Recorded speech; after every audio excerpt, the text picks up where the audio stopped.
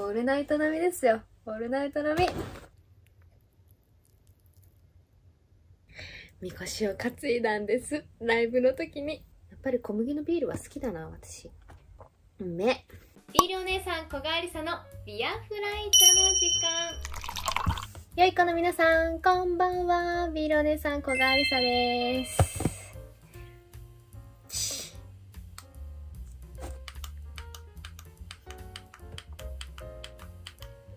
ナインティナインのオールナイトニッポン歌謡祭 in 横浜アリーナ2021に行ってきました。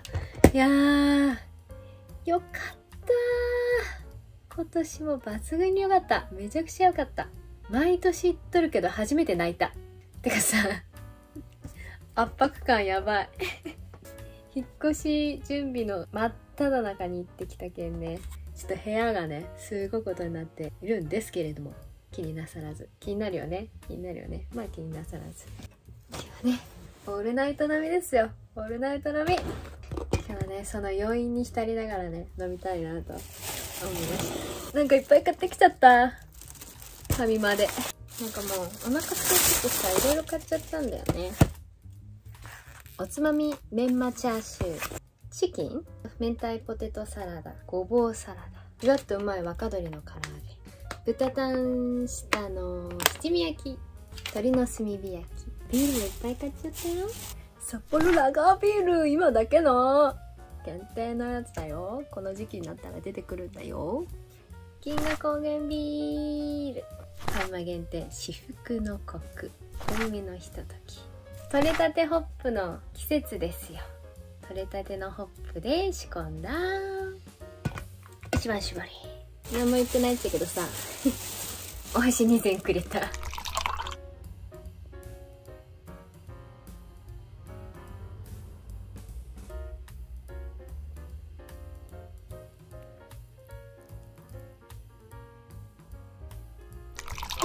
乾杯しよう乾杯。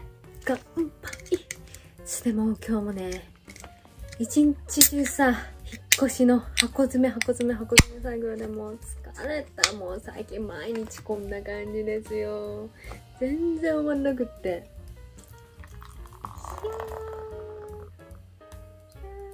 グッズに囲まれる幸せ。もうお疲れ自分本当に。皆さんも本日も一日お疲れ様でした。乾杯。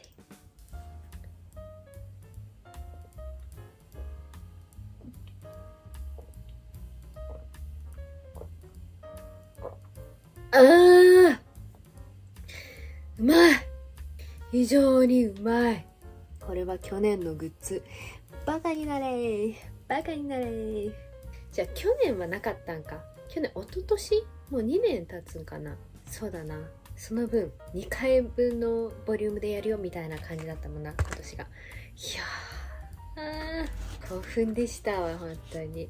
あもうお皿さめっちゃさ顎に詰めてしまったけんちょっと紙皿に出しました。ポテトサラダうん。明太ポテトサラダうまっ。うまい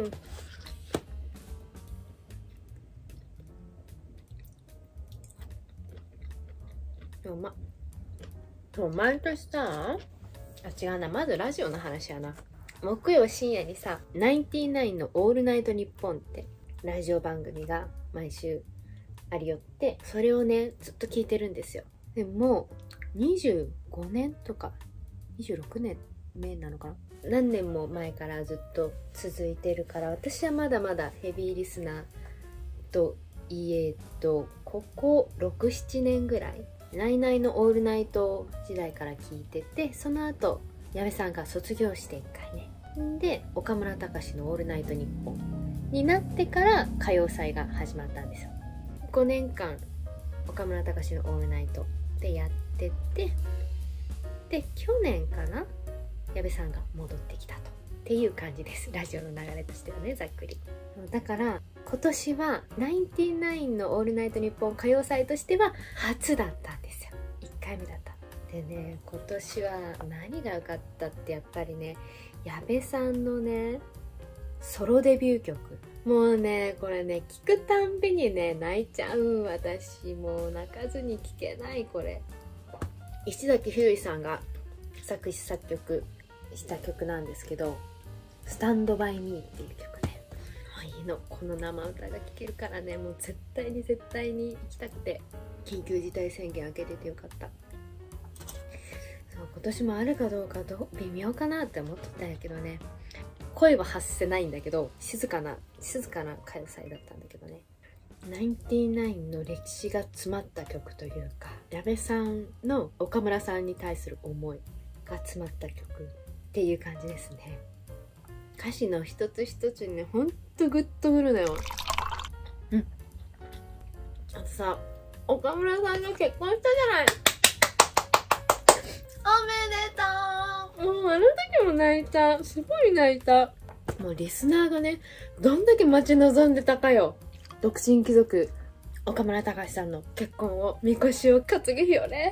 どんだけどんだけ楽しみにしてたか本当に本当に本当に。でねついにねみこしを担いだんです。ライブの時にその歌謡祭の時にね最後の方にねみこしに乗ってきたの。ちゃんと袴着て。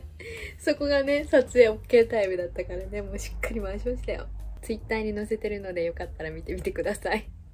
さあもうもう感動本当に感動。それを生で見れたのが本当に感動。マジでよかったなあれは。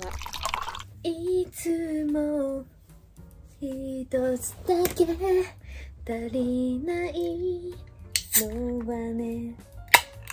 ここのね歌詞も好きなの。いつも一つだけ足りないのはいつか二人で100にできるようにしようねっていうね。あの9999だからさ。2人で補って100にするってで今年買ったのはねなんとこれだけ。タオルだけ。99オールナイトニッポンミュージックフェスティバル in 横浜アリーナ。狼の飼育員になりたかったという矢部さん子供の子。だから狼なの。あとお猿さんね。そう。今年はこれだけで我慢したの。あ、美味しいこれ。甘い。銀河高原ビール、小麦のビール。美味しいこれ。美味しい。好き。やっぱり小麦のビールは好きだな、私。うめ。うめ、うめ、うめ、うめ。あ、そうだ。これもね、これも、あの、グッズです。オールナイトニッポンって書いてあるね。高し岡村。前回が一番グッズ買ったな。これファミマ限定。ビアサプライズ至福のコク乾杯。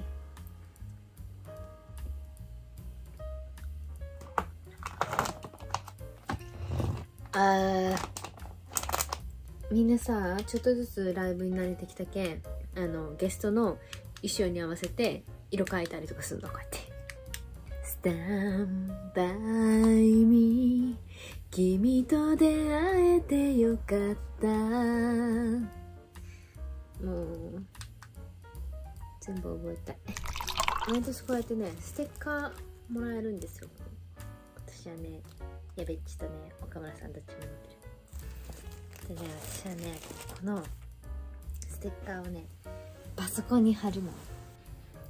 サンプルマークと重なってなんかよくわかんなくなったけど。でもコレクションで入れます。ぐしゃぐしゃ。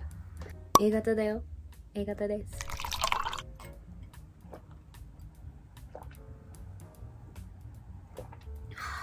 あいないいや今日はね初めてこんなにがっつりと私の推しについて話させていただきました。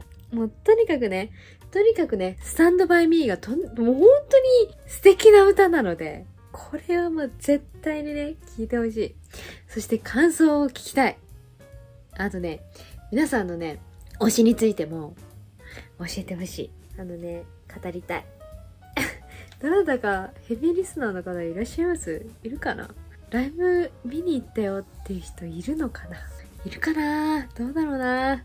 いたらぜひね感想聞きたいなあということで今日も最後までご視聴いただきましてありがとうございましたありがとうございますこの動画が気に入ったよという方はぜひぜひチャンネル登録よろしくお願いいたします。